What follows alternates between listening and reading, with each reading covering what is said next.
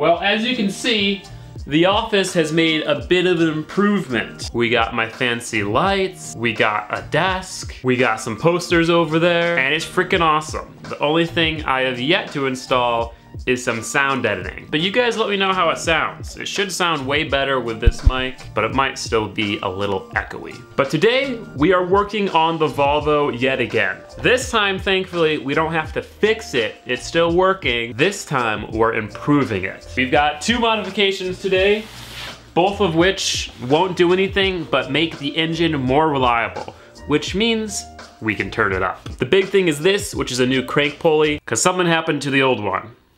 See, the Volvo has something called death wobble. Now that's not to be confused with the death wobble that my drift truck has when you drive over, you know, 60 miles an hour. This is death wobble in the crankshaft. You can see it most clearly when the car is idling. The crankshaft pulley is actually wobbling all over the place. When I first saw that, I kind of got freaked out because I thought there was something seriously wrong with the engine. Turns out that having a wobbly crank pulley is somewhat common on these motors. Having a wobbly crank pulley is bad because that's causing unwanted vibrations throughout the motor, and that increases the likelihood of something breaking. So this bad boy will fix the wobble. It will also help combat some of the extra vibrations caused by the motor making twice the factory horsepower. Now, this is the other thing I got. This is a Motion Raceworks steam port kit. LS Motors have two ports on each head, which are supposed to be plumbed back into the coolant system. I didn't know that, so I just blocked those ports off. Turns out that's one of the easiest ways to blow up your LS. Let's get started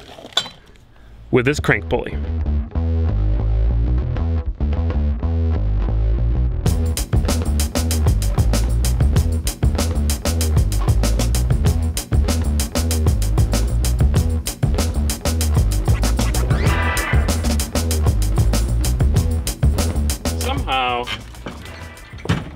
Don't have a pulley puller, so I guess I'm gonna have to get a new tool.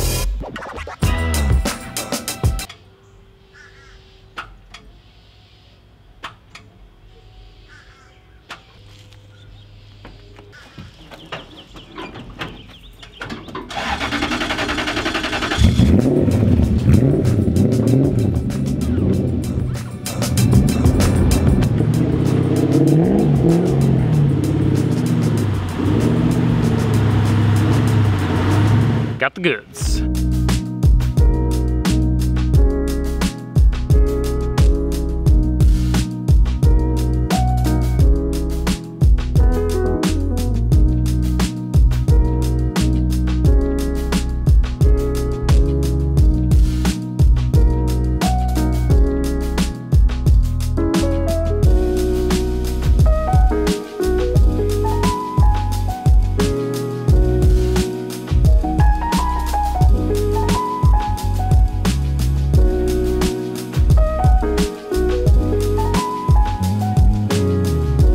Crank pulley is fighting me a little bit. Problem is that it's a little tight in there, so I can't get my impact on there. So I'm trying to use a wrench with another wrench on the end of that wrench to loosen the crank pulley. I can't get it. Sometimes if you can't figure something out, you just gotta take a break, drink some water, mm, and eat some goldfish.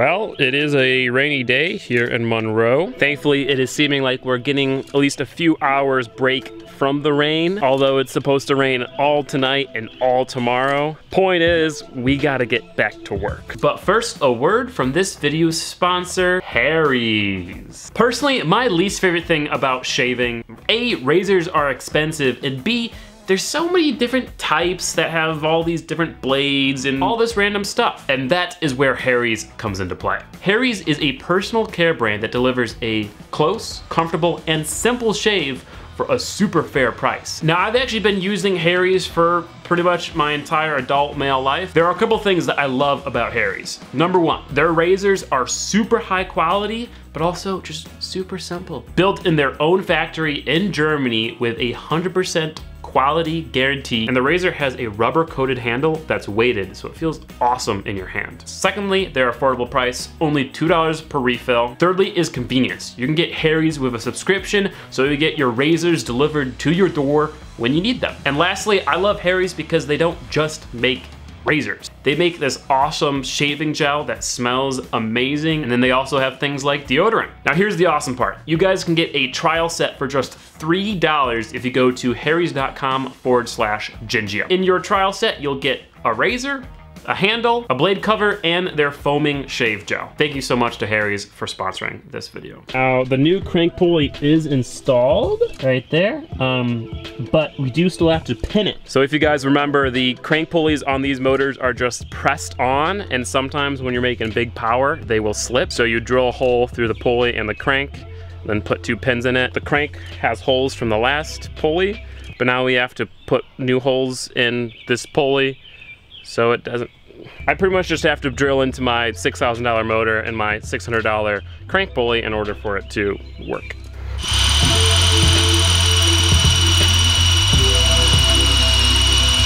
So the crank pulley is all done. Now we have to move on to the steam port kit. In order to install that kit, which is like the fittings are right down there, we gotta take off the intake manifold, unfortunately. So all of this stuff has gotta go bye-bye.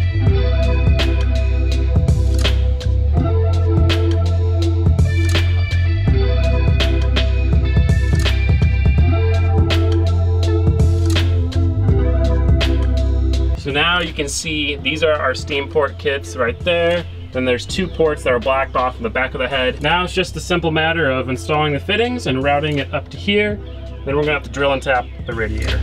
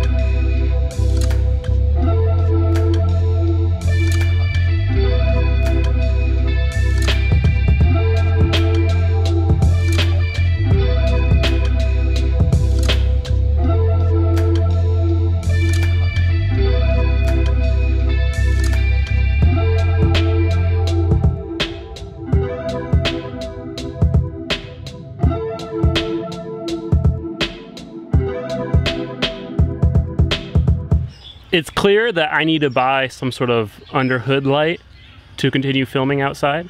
Uh, so I'm sorry, but uh, next time.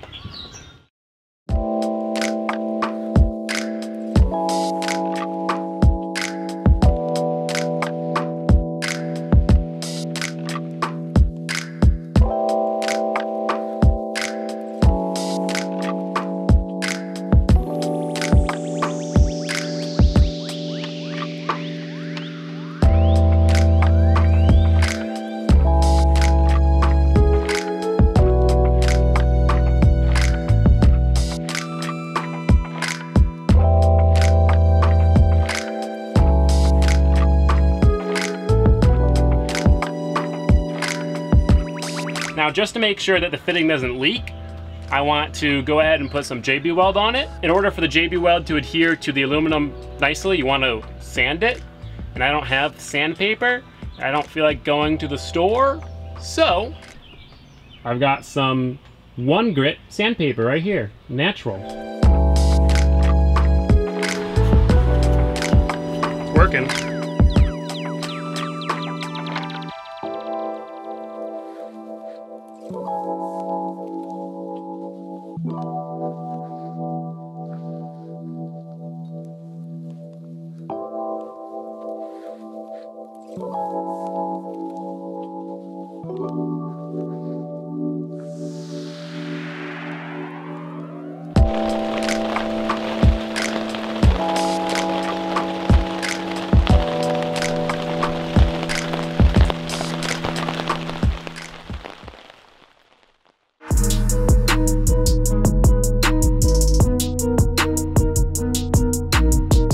It's another beautiful day down in Georgia. Really humid since it was raining the past two days, but it's not too hot. The Volvo is pretty much all finished.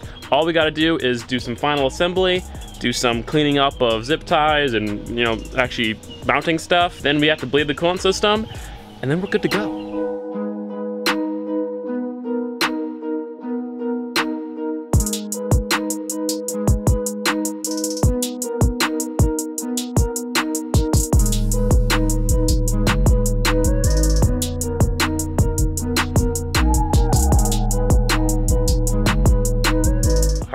Think we're totally done. I'm gonna go ahead, prime the fuel system, make sure there's no leaks, then start her up and let her hit operating temp.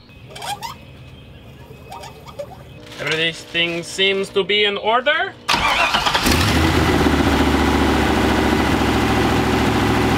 Let me show you something awesome. The crank pulley is buttery smooth. Fan popped on, everything is good, there aren't any leaks.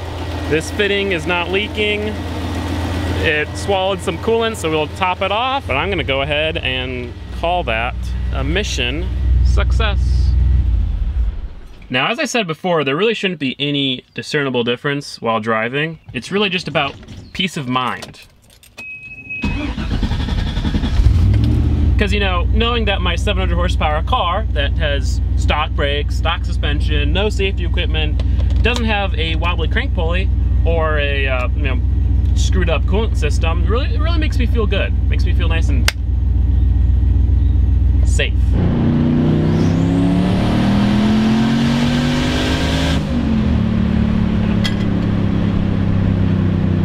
The light fell off.